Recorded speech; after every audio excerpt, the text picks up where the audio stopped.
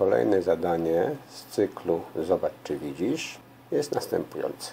Mamy jakiś zarys, oś i trzeba sobie wyobrazić, jak będzie wyglądała bryła obrotowa, która powstanie w wyniku obrotu tego zarysu wokół osi.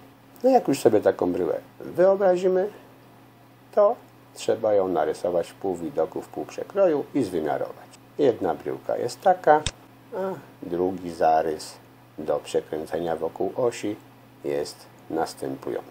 I również trzeba sobie wyobrazić, jak wygląda ta bryła i narysować ją w pół widoku, pół przekroju i zwymiarować. Proponuję zatrzymać i spróbować sobie to narysować, a może teraz pokażę, jak ta bryłka może wyglądać. W wyniku obrotu otrzymaliśmy taką bryłę. No, zewnętrzny zarys chyba nie powinien budzić wątpliwości. A jak wygląda wewnątrz? No i niestety nie zadziałało. No niestety AutoCAD nie zawsze dobrze działa. W tym wypadku płaszczyzna przekroju zadziałała, ale przy takim widoku szkieletowym. Natomiast jeżeli włączymy cieniowane, no to niestety ginie. Trudno. Druga bryła. Zarys zewnętrzny też chyba nie powinien budzić wątpliwości.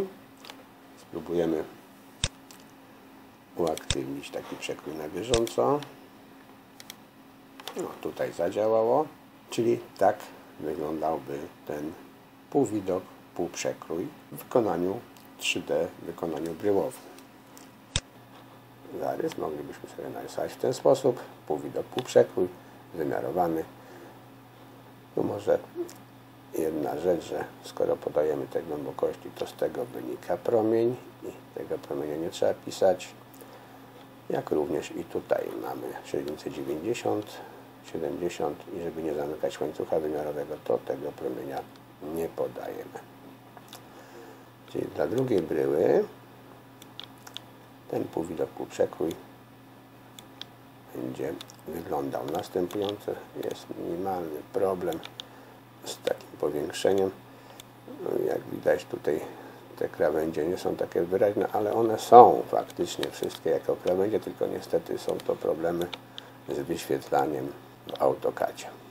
Czyli rozwiązaniem by było narysowanie takiej bryły w półwidoku, półprzekroju i zwymiarowane.